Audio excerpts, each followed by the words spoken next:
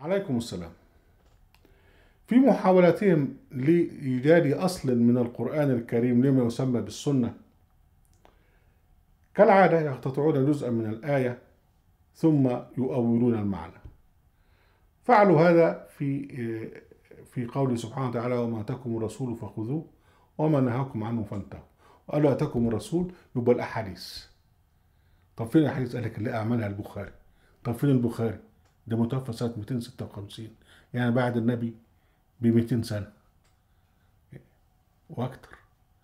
لكن يقول لك هو ده خلاص.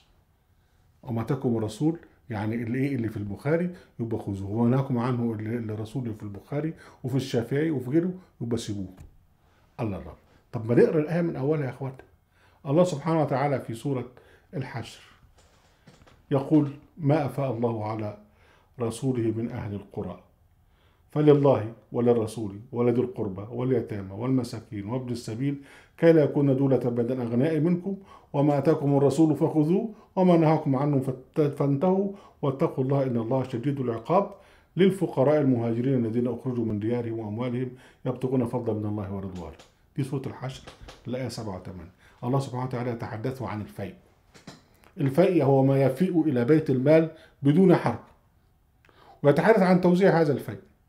يقول لك ما فاض على رسول من أهل القرى فلله وللرسول وذو القربى واليتامى والمساكين وابن السبيل كلا يكون دولة من الاغنياء منكم وما أتاكم الرسول في التوزيع ده فخذوه وما نهاكم عنه إن أنت تطمع في ما ليس لك فانتهوا وبين اتقوا الله رجل العقاب وبين دي روح لمين؟ قال لك الفقراء المهاجرين الذين خرجوا من ديارهم وأموالهم تقدم من الله ورضوانا إلى آخر الآيات. اذا الآية تتحدث عن الفقر. لا علاقة لها على الإطلاق بحكاية السنة اللي بيقولوا عليه ودليل كده أيضا أن نفس الموضوع أن المنافقين كانوا يطمعون في أموال الفيء. هم كانوا أغنياء. والله سبحانه وتعالى في سورة التوبة في الآية 55 والآية 85 منع النبي من أن تعجبه أموالهم وأولاده. ومع أنهم كانوا أغنياء إلى آخره لكن كانوا يطمعون.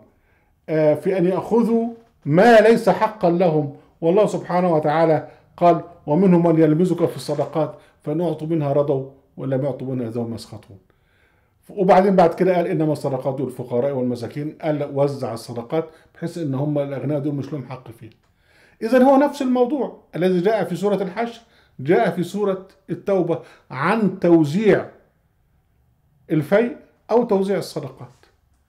وعن ما يؤتيه الرسول من هذا وذاك يبقى يتاخد. وما ينهى إن أنت تطمع فيما ليس لك اذا لابد أن تنتهي. إيه علاقة ده بالسنه